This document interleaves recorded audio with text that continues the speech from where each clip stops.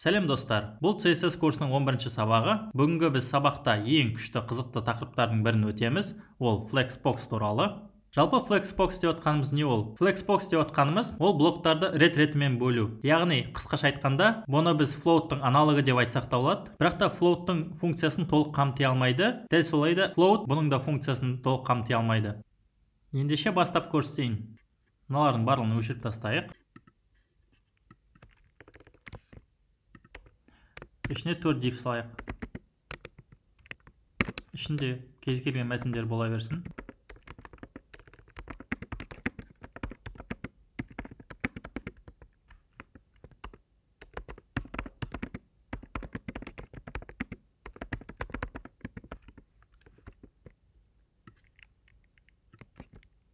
Қалғандарына да салып қояйық сақтадым не пайда болғанын көрейік. Міне біздің төрт блогымыз тұр төрт жағында. Енді үйреншікті өзімізге фон өзгертейік оны. Div background grading sorts сақтадым. Міне біздің блоктарымыз sortsке айналды. Енді границалар көріну үшін border салайық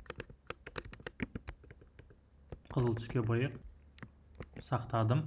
Қарайық не пайда болған. Міне сыртының бәрі қызыл түске боялды. Әрі элементіміздің биіктігі үлкейіп кетті. Алдыңғы сабақта байқаған шығарсыздар? Бордердің орнына мен outline қолдандым. Оның қандай айырмашылығы бар? Міне байқасаңыздар бұның биіктіктері қайта орнына қайтып келді. Жалпы outline бордерге қарағанда биіктігі мен еніне ешқандай өзгеріс енгізбейді. Тек жай ғана үстіне сыза қояды границасын. Ал бордер оның өлшемдерін өзгертеді. Міне биіктігі мен ені өзгеріп кетті. Енді бұлардың барлығы бір қатарда тұру үшін біз алдында float қолдандық. Не көрсетейін float left width. 200 пиксель дей салайын парақшаны жаңартам. Міне бәрі бір қатарда тұр.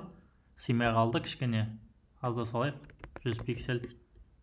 Парақшаны жаңарттым. Міне мына оң жағымызда бос орын пайда болды. Осы бос орынды біз толықтыру үшін тағы да алдындағыдай калькуляция жасауымыз керек. Ал 25 пайыздан себебі бізде төрт элемент бар. Алып тастаймын 2 пиксельді неге екі пиксель?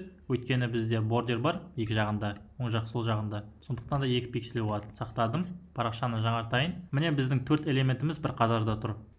Жалпы міне осындай нәрселерді жазып отпас үшін күшті нәрсе бар. Display flex деген. Ол үшін сыртына мен арнайы div тағы контейнер беремін. Div класс атын контейнер деп қояйық. Сыртына контейнер салдық ал ішінде div те тұр. Дифтерге де біз қазір класстар беріп шығайық икемдейік оған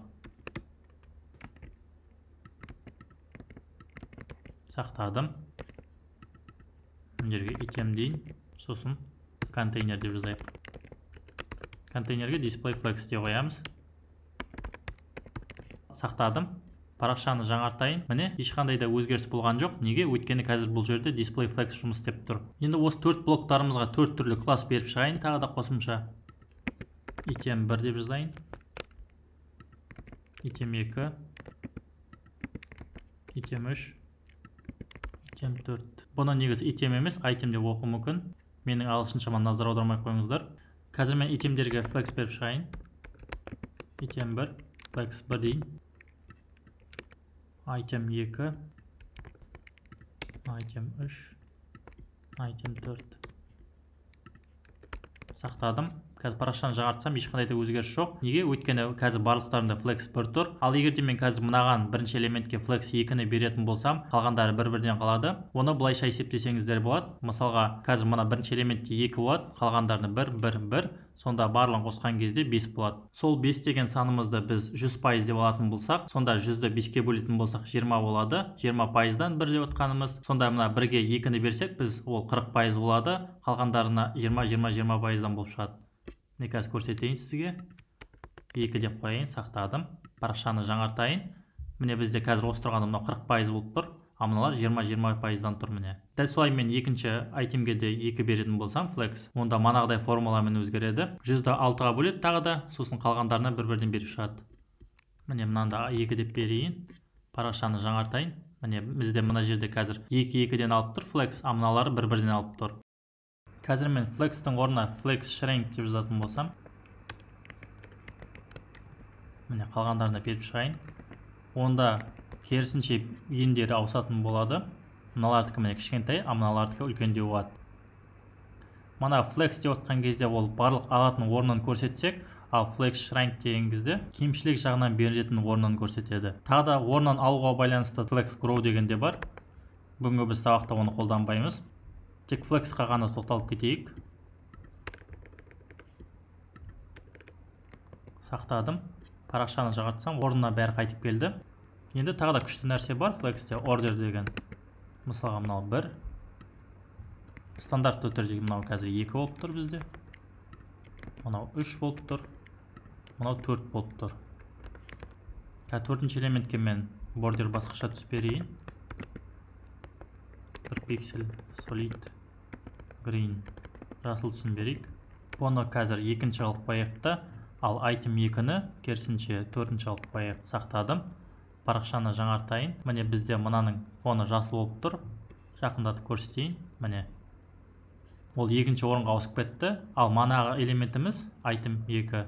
Ол төртінші орынға ауысып кетті. Неге? Өйткені біз оған міне сортировка жасадық ордер деп. Енді ордерді алып тастайық. Қазір келесін түсіндіруге оның қажеті жоқ. Мындай нәрсе бар. Байқасаңыздар мында барлығының биіктіктері бірдей болып тұр. Қазір парақшаны жаңартайын. Міне мына астында бос орын тұрса да ол барлықтарының биіктіктерін бірдей қылып тұр. Ондай болмас үшін жалпы биіктіктер әртүрлі болу үшін не болмаса басталатын жерлері өзгеше болу үшін онда бізде мына контейнерге саламыз. Origin items деген нәрсе бар. Flag start десек онда бас жағынан басталады. Міне парақшаны жаңарттым. Үстіңгі жағында басталып тұр міне. Ал қалған элементті толтырған жоқ. Жалпы осыны бас жағына емес төменгі жағына қойғымыз келеді. Ол үшін біз flag starttың орнына flag end дегенді қоямыз. Міне сақтадым. Парақшаны жаңартсам астыңғы жағына міне жылжып кетті. Осындай теңестірудің тағы да бір үшінші мәні бар. Ол origin items center деген нәрсе. Сақтадым. Ол кезде ортасына тұрады міне. Жалпы бұл түсінікті деп ойлаймын. Сондықтан да бұны алып тастаймын мен. Парақшаны жаңартсам орнына қайтып келді. Тағы да бір флекстің бір күшті мәні бар. Ол flex direction деген бағытын береді. Қазір осы тұрғанда по умолчанию ол row деген мағынаны беріп тұр. Сақтасам ешқандай да өзгеріс болмайды. Міне парақшаны жаратқанда ешқандай өзгеріс болып тұрған жоқ. Колумн деген мәнінде бар. Орысша столбец деп айтады. Бір бағанада орналасады. Міне бірінің астынан бірін кетті. Содан кейін де тағы да row reverse деген нәрсе бар. Онда бір қатарда орналасады да бірақ теріс қарай бағыты өзгереді. Мына жерде міне байқасаңыздар жасыл элементіміз төртінші айтем. Ол бірінші басталып тұр. Одан кейін айтем үш тұр одан кейін айтем екі айтем бір. Міне қазір кодпен көрсететін болсам мына жерді басып элементке апардым. Айтем екі міне үшінші тұр бізде айтем үш екінші тұр айтем төрт бірінші тұр осылайша бағыты өзгеріп кетті. Дәл солай колумн реверс десем де оның да бағыты өзгере бастайды. Парақшаны жаңартамын. Міне айтем бірде бізде қазір ең соңында тұр. Айтем екі үшінші тұр. Айтем үш пен айтем төрт. Міне көріп тұрсыздар теріс қарай саналып тұр. Енді бұларға енін беріп көрейік. Жалпы мына ол үшін флекс деген нәрселердің барлығын алып тастайын. Мына flex direction'ды да алып тастайық. Айтым бірге енін беріп көрейік. Width 200 пиксель дейік. Міне 200 пиксель салдым. Барлығына да 200 пиксель беріп шығайын. Сақтадым. Парақшаны жаңартсам ол толықтаймен тұр. Міне неге? Өйткені қазір біртіндеп қарайтын болсақ оның ендерін міне 171 пиксель деп тұр. Келесінде де 171 пиксель деп тұр. Қазір мен 100 пиксель салайын. 100 100 сақтадым. Парақшаны жаңартайын. Міне төрт элементіміз бізде. 100 пиксель болып тұр ендері. Енді осының мына шетке дейін тақалып тұру үшін ал араларын біркелкі ашу үшін күшті нәрсе бар. Justify content деген соны салайық. Justify content. Манағыдай flex start деп жазсақ болады. Ол кезде бас жағында тұрады. Дәл қазір сондай бас жағында тұр міне. Одан кейін flex end деп саламын. Сақтадым. Парақшаны жаңартайын. Ол кезде артқы жағына қарай кетеді. Сосын тағы бір мән бар қызық. Space around деген. Міне сақтадым. Парақшаны жаңартайын. Ол кезде араларын біркелкі ашады. Араларының бірде ашып тұрғандарын оны былай байқасаңыздар болады. Міне мына жерден мына жерге дейін. Сол арақашықтықты мына екі ортада да бар. Ол екі еселеніп тұр. Неге? Өйткені мына элементтің арақашықтығы бар және мынаның берген арақашықтығы бар. Сондықтан да мына жер үлкендеу ал мына жер кішкентай болып тұр. Қосымшада және де үстіңгі жақта да көріп тұрсыз. Бұл браузердің өзінің беріп тұрған отступы деп айтсақ болады. Сол жағында да отступ беріп тұр. Қазір мен контейнермен көрсетейін сізге міне. Контейнерге апарған кезде міне көріп тұрсыздар сол жағында қаншалықты орын қалып тұрғанын. Дәл сондай орын мына екі ортада да екі еселеніп тұр. Жалпы екі шетіне орын қалдырғыңыз келмесе онда тек араларын ғана ашу үшін онда space aroundтың орнына space between дегенді саласыз. Сақтадым. Парақшаны жаңартайын. Міне сол жағымызда ешқандай да орын қалған жоқ оң жағымызда да дәл солай. Тек қана араларын біркелкі ғана ашып тұр. Жалпы браузердің өзіндік по умолчанию беретін нәрсесі space betweenнің орнына. Ол stretch деген нәрсе. Сақтадым. Парақшаны жаңартайын. Міне орнына қайтып келді. Жалпы stretch орындалу үшін онда біз width бермеуіміз керек еді. Енін ол өзі ғана тауып қою керек еді. Жалпы width'дің орнына негізі дұрыс қолданатын нәрсесі flex basis болып саналады. Жалпы осылардың мәндерін өзгертіп тастайын мен. Пиксельмен бермейік пайызбен берейік. отыз пайыз дейін.